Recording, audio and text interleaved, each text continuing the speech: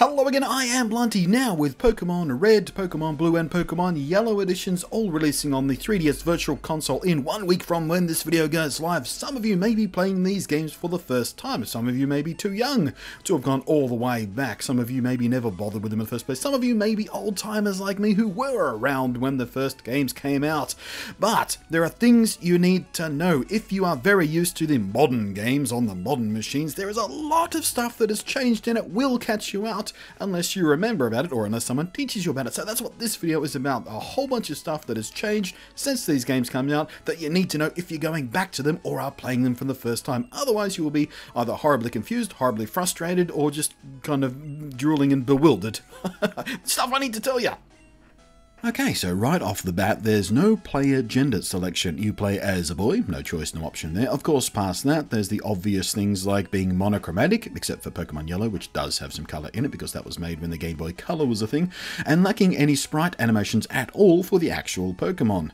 And of course, you'll be restricted to just the 150 original Pokemon, not the 720 there are now. Although, perhaps we might get to 151 if and when Nintendo give us a way to obtain Mew in these virtual console games. Man, hey old timers, remember when 151 Pokemon names and types and movesets felt like just a ton to remember? if we only knew. So, past the obvious surface differences, there are some significant mechanical changes that people not new to Pokemon, but at least those new to the old games, need to be aware of because it will catch you out. The generational culture shock at play here is more than just skin deep with funny looking low pixel count sprites and bleepy bloopy sounds and such.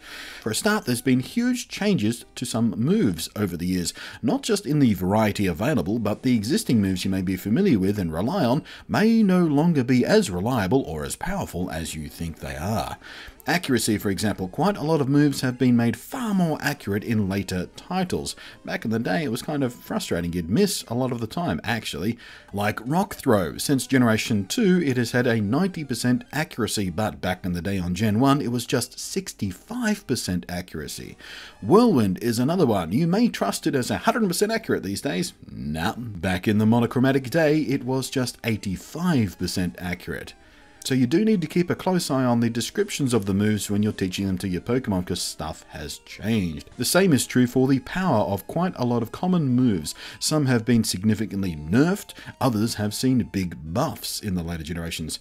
Dig, these days it has a power of 60, but it started out at 100. Explosion, now a chunky 250 power, once upon a time was a comparatively weak 170.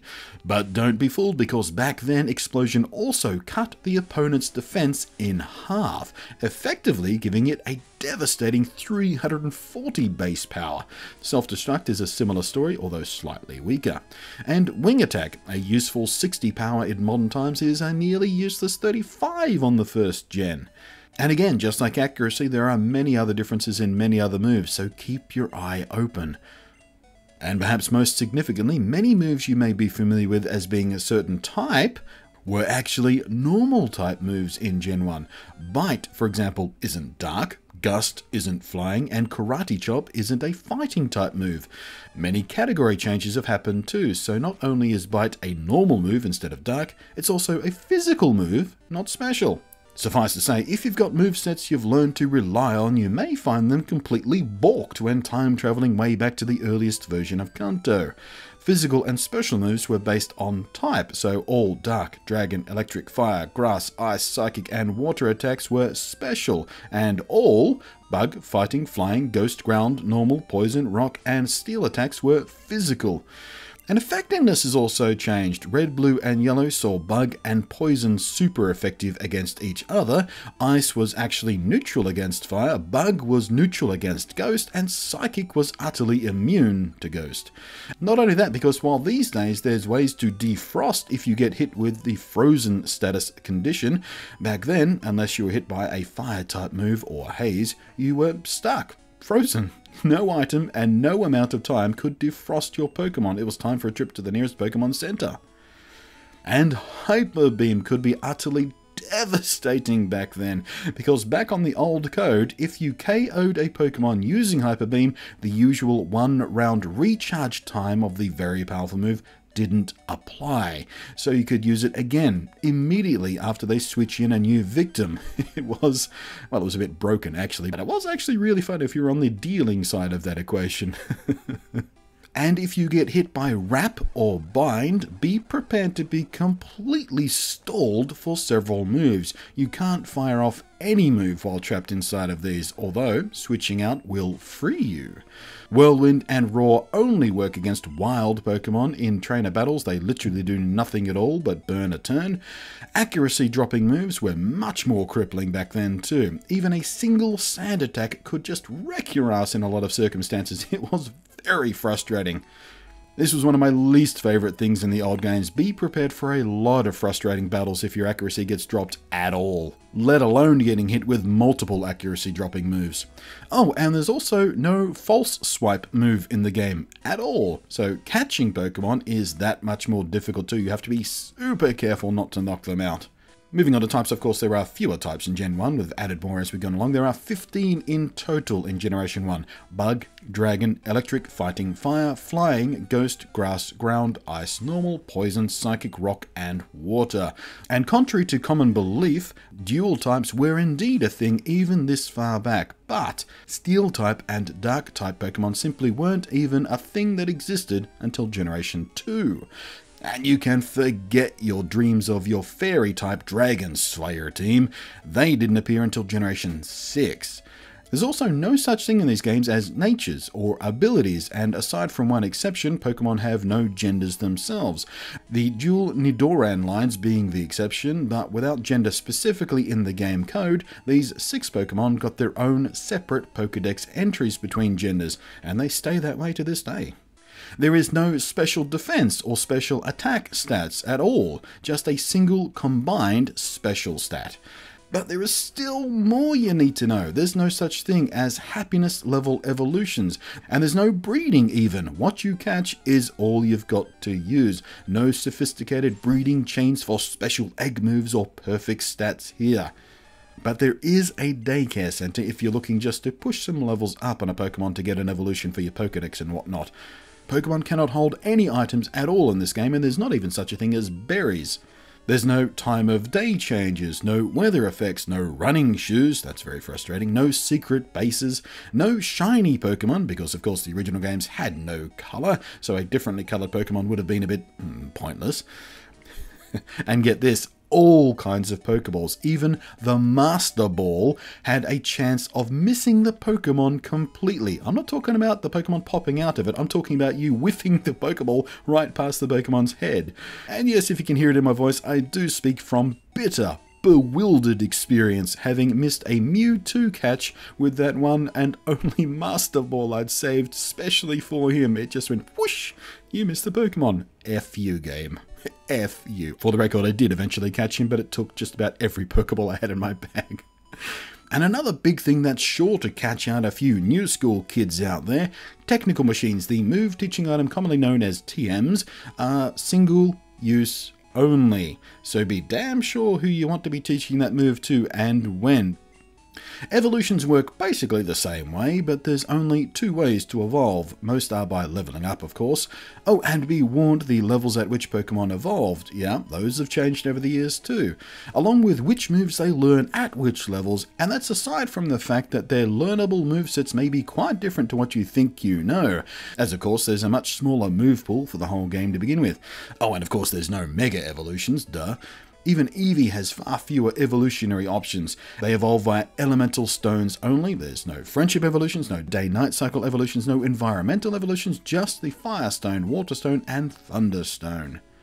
And are you a super smarty pants who likes to carefully EV train your Pokemon? Get ready for some new math. Back here, the EV system is wildly different and it's tied directly to base stats. The experience share item also works quite differently in Generation 1. With hold items not even a thing here, the item known as Exp all, when in your key item bag inventory shares the experience equally between all of your party members but they don't get stat experience unless they participate in battle, of course. And that is kind of like how Experience Share works now, but for a big whack of time in the middle there between the latest generation games and the earliest generation games, for a while the Experience Share item was a hold item for only one Pokemon. Oh yeah, and multi-directional movement. Hope you're not too used to that. Back in my day, we didn't have diagonals. Cardinal directions locked to a grid only for us, thank you very much. The Generation 1 games had some balancing issues too, as you may well imagine, with a much more limited Pokemon selection, moveset options, and combo typing than we're blessed with these days. For example, Psychic types were pretty OP back in the day, only other Psychic types had resistance to them for a start, and their only weakness was the Bug type, which itself only had three useful damage dealing moves in the entire game. Leech Life, Pin Missile, and Twin Needle. And many of the bug types that could even learn these were dual type bug poison type, which of course gave them a weakness to psychic types. Combine that with the fact that the aforementioned lack of differentiation between special attack and special defense stats, and the modern fragility of Alakazam as a glass cannon, vanishes. And with the right moveset, it could make him extremely difficult to stop.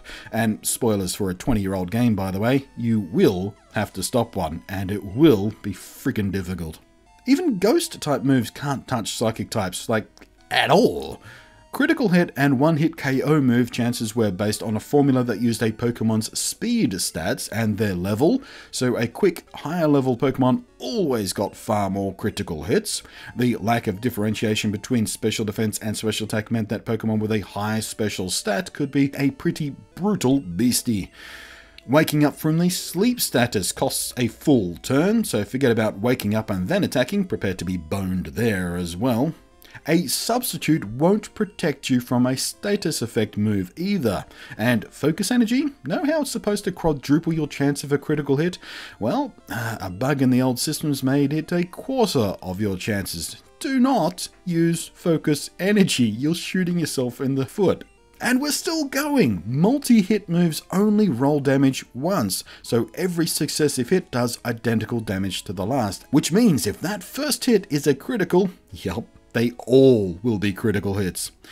And one of the biggest annoyances, even back then, before we had it better, was the severe limitation of bag space. You've only got 20 slots for carry items in your bag, so prepare to do a lot of inventory management and juggling, switching stuff in and out of the PC at Pokemon Centers pretty much constantly.